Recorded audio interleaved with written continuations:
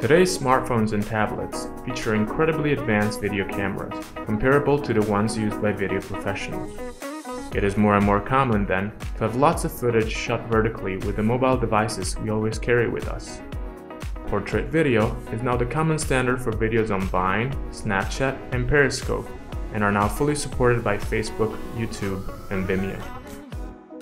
Until today, the solution to successfully edit vertical video was to convert the footage into horizontal ratio. But the results are always less than ideal, especially when viewed in full screen.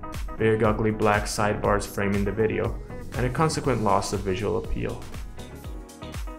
PowerDirector introduces a revolutionary intuitive new way to effectively edit vertical video.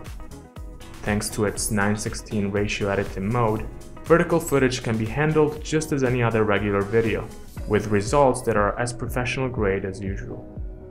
The whole process is extremely easy. From the convenient PowerDirector launcher, set 916 as the aspect ratio for your project. Select between the full feature editor or the easy editor, just like you would with any other footage. Import your vertical footage in the editing room of PowerDirector and create your video with all the regular functions available, including the new and improved Action Camera Center and support for 120 and 240 FPS footage. Rendering vertical video is now faster than ever, thanks to Cyberlink's proprietary orientation SVRT technology, now available for videos shot in 916. Once all that you need is ready on your editing timeline, you can produce your video and upload it directly to Facebook, YouTube, or Vimeo.